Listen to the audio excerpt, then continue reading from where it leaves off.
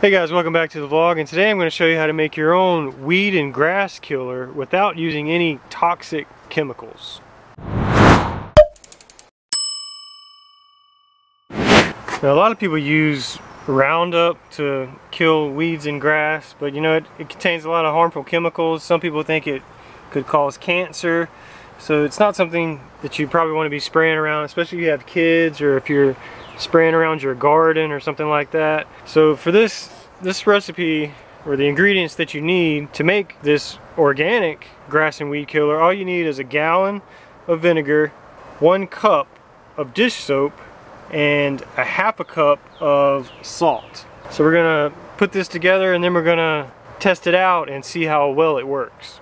So first what I like to do is uh, get the vinegar and I'll go ahead and put about half of the vinegar in the spray container.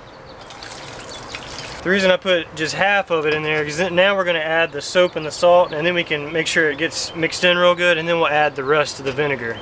Yeah. So we'll go ahead and put a cup of dish soap. So go ahead and put a cup of dish soap in there. Alright, so we got our cup of dish soap. Now we're to add a half a cup of the salt. And you can put, you can buy this cheap at the dollar store. The Dollar Tree had this. So half a cup of salt. And it doesn't have to be perfect. So go ahead and pour that in there. Now you're gonna make sure it gets mixed in real good. And then you can go ahead and add the rest of the vinegar and you can wash the the salt that's accumulated on the top. Wash that on down in there. Pour the rest of the vinegar in. And now we're ready to test this out. So here's our garden. We got some tomatoes growing here. And you can see the, the grass growing up next to the beds. And it's really annoying to keep trimmed. So we're gonna go ahead and spray it with our organic spray that we made. Spray it really good. And then, like I said, this stuff works really, really good. It's I think it works better than the actual chemical spray. I don't know exactly how the stuff works, but I know it works good. So it's almost three o'clock in the afternoon right now. So we'll come back later when it's starting to turn brown and we'll show you that. Here's some in our driveway that we sprayed in the past. As you can see, it absolutely destroyed it. It killed it pretty good. It's brown, it's all dry now. And one thing I forgot to say is that when you spray when you spray this weed killer you want to make sure it's on a, a, nice hot day and it's really make sure it's dry outside. It hasn't rained for a while and it's not going to rain you know right away after you spray it.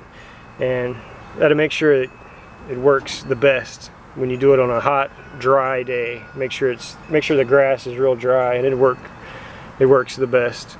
See it's been a little over an hour and you can see the grass is already starting to dry up and die.